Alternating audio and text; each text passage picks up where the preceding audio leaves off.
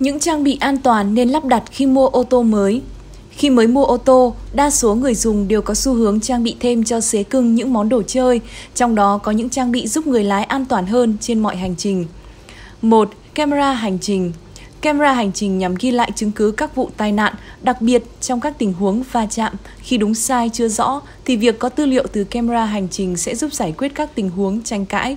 Ngày nay, camera hành trình được phát triển với nhiều chức năng hơn như cảnh báo tốc độ hay có camera phạt nguội.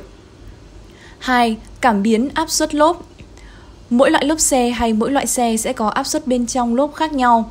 Trong quá trình sử dụng hơi bên trong bị thoát ra ngoài do nhiều yếu tố sẽ làm thay đổi áp suất lốp và làm ảnh hưởng tới quá trình vận hành xe.